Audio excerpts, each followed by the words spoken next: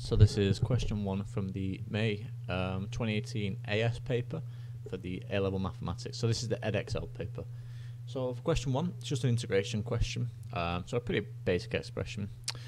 Um, hopefully you can see it clearly here, but if not, this is 2 over 3 times x cubed minus 6 times root x plus 1 dx. So to integrate, remember we just go term by term. Um, so we've got 2 over 3 times x cubed. So remember we add 1 to the power, divide by the new power. So this is going to be 2 over 3. Um, is going to be 2 over 3. 2 over 3. So it's going to be x to the 4. And then I'm going to times it by the new power. Uh, sorry, divide by the new power.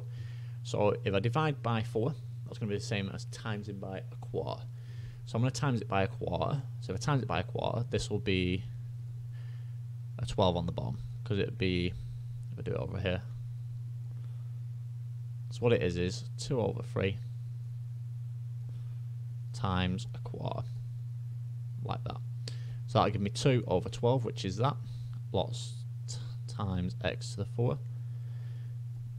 Then I've got 6 times root x. Now remember, root x, we can write as, using the laws of indices, x to the power of a half. That's really like bad notation now, but hopefully you can see um, that's x to the half, so that's going to be minus 6x to the half. Well, if we add 1 to that, that's going to be 2 over 2, so that's going to give me x to the 3 over 2. And then I've got to divide 3 by it, so that's going to be minus 6x to the 3 over 2. And then divide 3 by 3 over 2. And we'll simplify that in a second. And then the plus 1, remember, will just be plus x. And don't forget, we have no limits on the integral, so we need our plus c at the end.